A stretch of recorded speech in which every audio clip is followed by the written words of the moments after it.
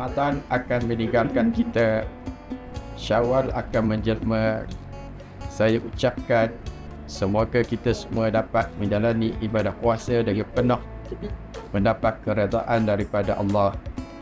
Dan perayaan pada tahun ini akan mendapat satu kegembiraan Dan saya ucapkan kepada mereka yang memulakan perjalanan untuk balik ke kampung Berhati-hati di jalan raya. Semoga kita semua selamat tiba dengan penuh kegembiraan Sekian, terima kasih.